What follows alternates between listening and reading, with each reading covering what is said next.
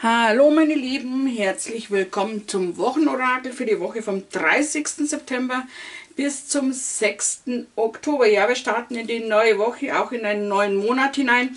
Und da wird es nochmal sehr spannend, weil wir haben ja am 2. Oktober den Neumond in der Waage. Wir haben am 3. Oktober nochmal Portaltag und im Oktober, da kommen ganz viele auf uns zu. Ich würde mal sagen, das wird hier schon mal die erste Woche sehr spannend.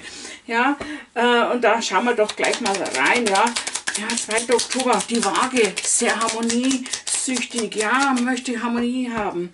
Aber dann wird es wieder spannender. Also schauen wir mal. Dafür haben wir den Portaltag mit der Energie. Ja, wir schauen, was uns hier die Karten mitteilen möchten, was wichtig ist was angeschaut gehört. Schauen wir einfach mal. Upp, fällt schon raus, es geht hier der Bär um. Ja?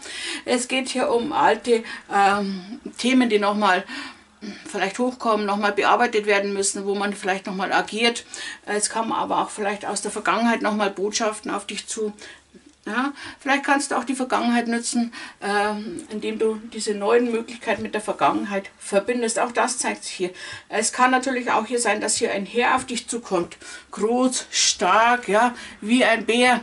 Äh, vielleicht auch braunhaarig Glatze, Grauhaare, bei jedem wird es unterschiedlich sein. Hier kommt natürlich auch hier jemand vielleicht in Bewegung auf dich zu, ja, weil hier zeigen sich auch Möglichkeiten im Punkto Partnerschaft, ja.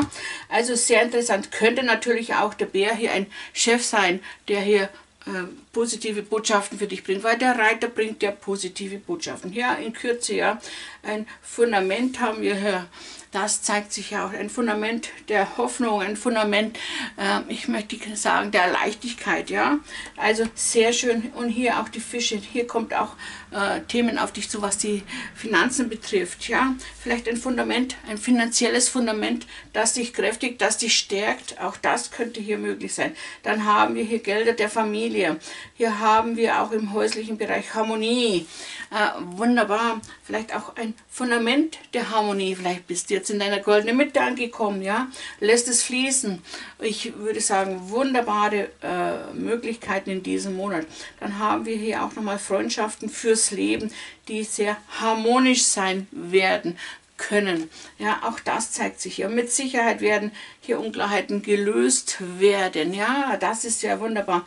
Wenn im Außen noch Schwierigkeiten sind, also wie gesagt, mit Sicherheit wird man hier eine Lösung finden, auch im Außen. Sei offen für Lösungen, für diese äh, gestalterischen Möglichkeiten. Also du kannst hier etwas vielleicht lösen, etwas äh, mehr Sicherheit reinbringen. Äh, äh, ja, und dann zeigt sich hier natürlich auch nochmal der Reiter. Ja, der liegt hier im Stillstand, er schaut hier rein in den Park. Er möchte quasi im Außen in Bewegung kommen, Lösungen anbieten, liegt hier aber noch quasi im Stillstand. Vielleicht ist er auch hier schon bereit, eine Transformation stattzufinden, ja, dass hier wirklich etwas in Bewegung kommt, was die vergangenen Themen betrifft, dass hier etwas ja, äh, auf dich zukommt, was hilft abzuschließen. Auch das kann hier möglich sein. Also auf alle Fälle der Reiter immer wieder positive Botschaften, ja. Ähm, vielleicht ist es hier wirklich Botschaften, ähm, die dir helfen, die Vergangenheit endgültig äh, abzuschließen kann aber auch sehr viele Möglichkeiten dir noch erschließen, ja, äh, die dir Kraft und Stärke geben werden. Dann haben wir hier natürlich auch nochmal äh, Schwankungen vielleicht, ja, betrifft vielleicht nochmal die Vergangenheit. Da darf man aber jetzt kreativ sein. Ja? Auch gefühlsmäßig. Ja? Gibt es vielleicht noch alte Gefühle irgendwo, wo noch Bewegung reinkommen darf. Auch das zeigt sich hier. Ja? Äh, da darf man wirklich kreativ sein. Ah, das ist wirklich interessant. Vielleicht hat der ein oder andere auch nochmal ja, alte, ja, dass hier nochmal alte Gefühle hochkommen. Kann natürlich auch sein. Alte Sehnsüchte, wo man nochmal ins Schwanken kommt, wo man nochmal hingeschaut gehört. Auch das kann in dieser Woche sein, ja. Man kommt ja auf alle Fälle äh, unerwartet weiter, würde ich sagen.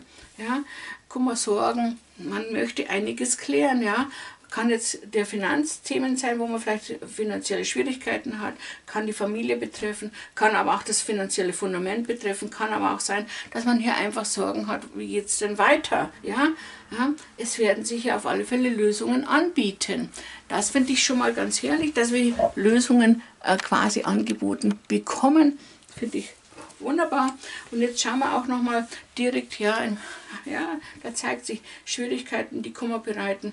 Ja, man hat Sehnsüchte wieder nach dem Alten, weil das, was man hier jetzt äh, vielleicht vorfindet im Hier und Jetzt, da ist man vielleicht nicht so einverstanden. Man sehnt sich nach äh, der Vergangenheit, wo es alles so toll und rosig war. War es wirklich immer alles so rosig? Ja, sollte man hinterfragen. Man wird jetzt wirklich dazu quasi aufgefordert, Vergangenheit endgültig abzulösen und äh, sich äh, hier in, im Hier und Jetzt ähm, zu beschäftigen bzw. ak zu akzeptieren, was im Hier und Jetzt ist und hier das Beste daraus zu machen. Ja? Also hier in die Heilung zu gehen, hier den Kummer heilen. Ja? Ob das familiär ist, ähm, ob das eine Person, eine weibliche oder eine männliche betrifft, ob das Freundschaften betrifft. Ja? Hier geht es darum, voranzukommen. Hier geht es äh, zu klären, ja, was äh, bereitet mir gerade im Moment Schwierigkeiten, ja, wo kann ich hier kreativ, ja, intuitiv auch, ja, auch intuitiv kreativ sein, wo kann ich ja äh, bestimmte Schwankungen äh, wieder in die Harmonie bringen, ja, in einen Ausgleich bringen, wo sollte ich vielleicht ein wenig sensibler sein, wenn es hier um bestimmte schwierige Themen geht. Auch das zeigt sich hier. Unerwartet ein Neubeginn. Ja, wir haben ja auch den Neumond im Leben. Ja, wenn hier im Leben noch etwas nicht so läuft, unerwartet zeigt sich ja mit Sicherheit eine Lösung an im Leben. Ja, auch Freundschaften fürs Leben mit Sicherheit können unerwartet äh, neu auf dich zukommen. Finde ich herrlich. Dann haben wir ein altes Kapitel im Leben. Wie gesagt, da hat man vielleicht noch mal Sehnsucht nach diesen alten Themen. Ähm, man verschönert es vielleicht auch manchmal. Und hier geht es darum, auch hier dieses Kapitel abzuschließen.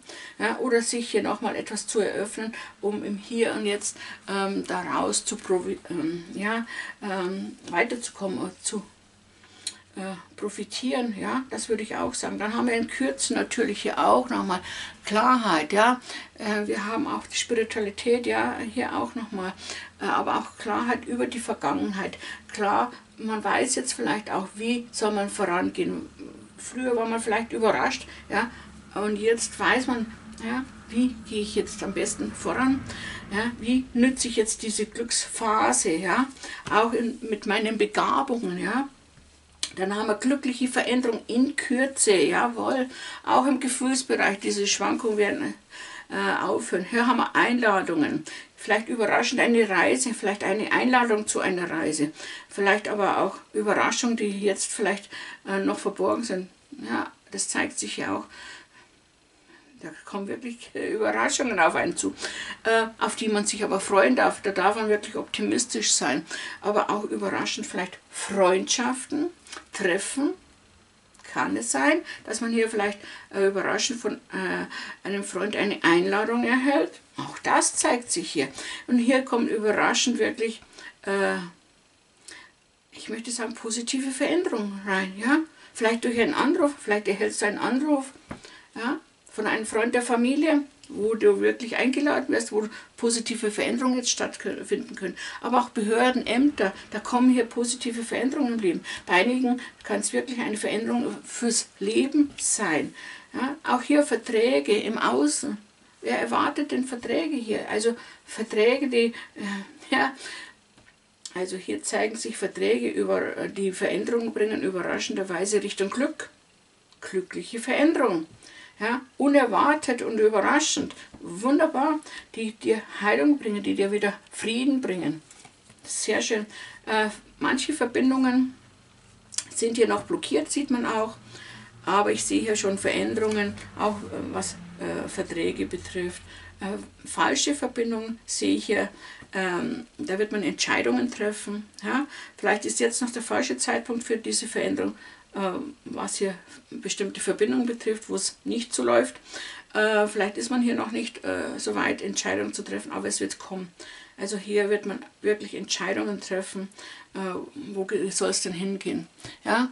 Also man ist auch ein bisschen vorsichtig, dass man keine falsche Entscheidung trifft, weil ja, das bereitet einem ein bisschen Sorgen. Ja? Wenn ich jetzt diese Entscheidung treffe, ist es dann richtig oder falsch? Gibt es richtig oder falsch? Hör auf dein Gefühl. Ja? Ähm, dann haben wir hier auch nochmal im Herzensbereich, da verabschiedet sich der Fuchs, also da passiert nichts Negatives mehr, im Gegenteil. Ja, hier kann nochmal eine Liebe im Außen auf dich zukommen in Kürze, die noch nicht spruchreif ist, die du noch nicht kennst. Überraschend herzliche Einladung, ja, vielleicht mit einer Reise verbunden, die noch nicht bekannt ist, kann natürlich sein. Ähm, du selbst liegst hier in der Liebe, in der Selbstliebe, finde ich wunderbar. Das Glück äh, korrespondiert schon mit dir. Vielleicht auch das Liebesglück hier in Kürze. Ja?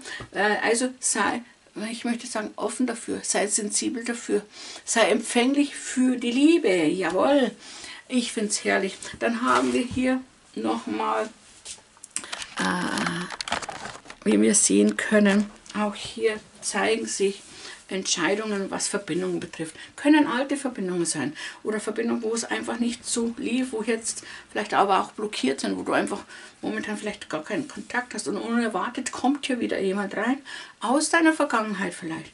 Jetzt zeigt sich auch ein Neubeginn, ein glücklicher Neubeginn, eine neue Entscheidung, ein neuer Weg.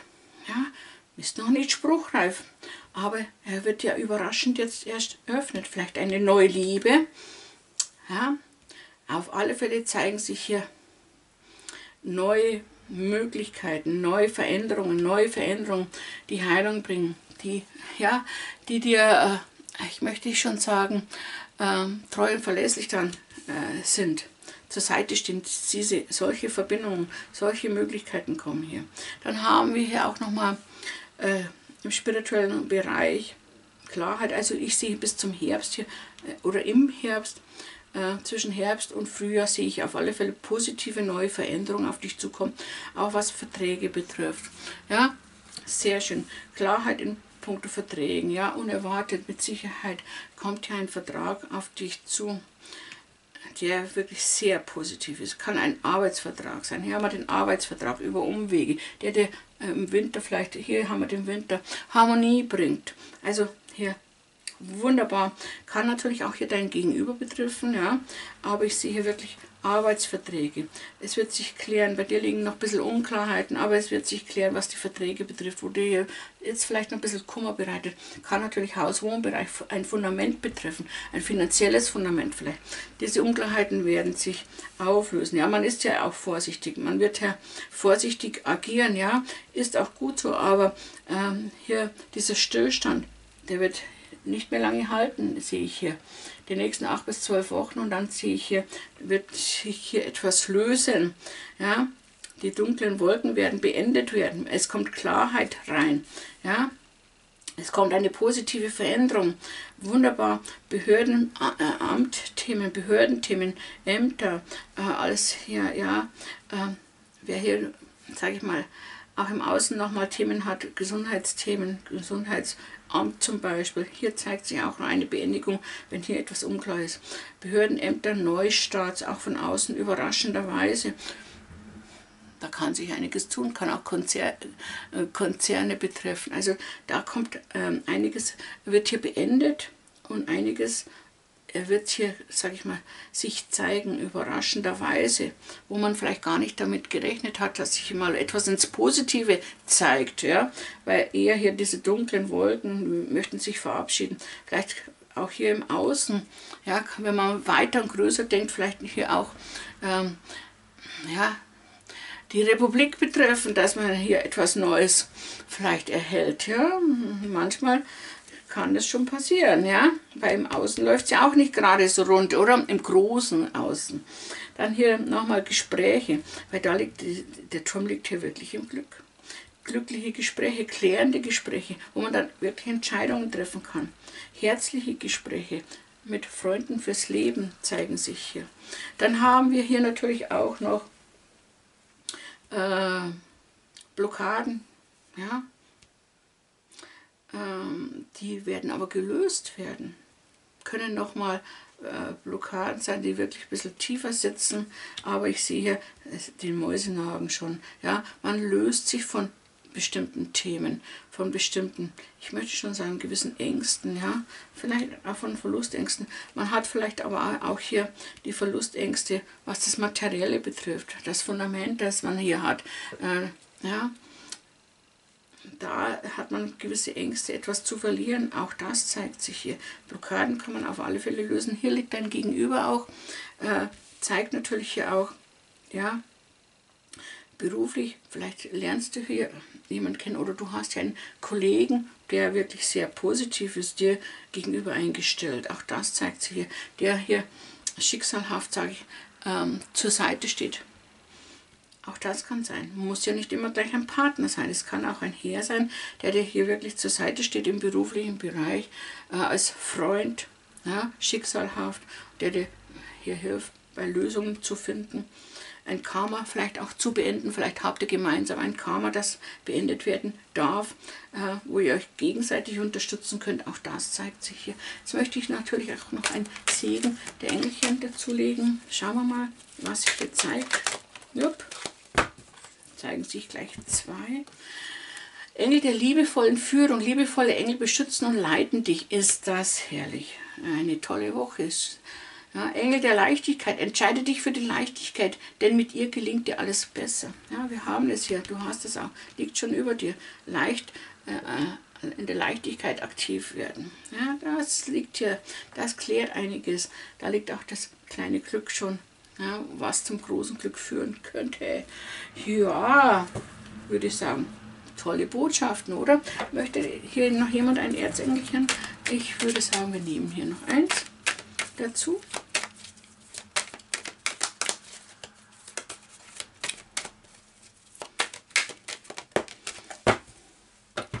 Okay, erzähl Jeremie. Lerne aus deinen Herausforderungen, entspann dich und vertraue. Ja, aus der Vergangenheit kannst du jetzt vielleicht mit einbeziehen. Und wer hier noch eine Entscheidung hat, äh, wir nehmen das Entscheidungsorakel hier noch dazu. Vielleicht ist es wichtig für einige. Ich weiß es nicht. Ich habe hier so ein Gefühl, her, wäre hier vielleicht für einige wichtig. Eventuell. Hm. Interessant. Also ich wünsche euch eine herrliche Woche, eine entspannte Woche mit vielen Glücksmomenten, vielen positiven Überraschungen und ich wünsche euch einfach alles Liebe, alles Gute. Namaste.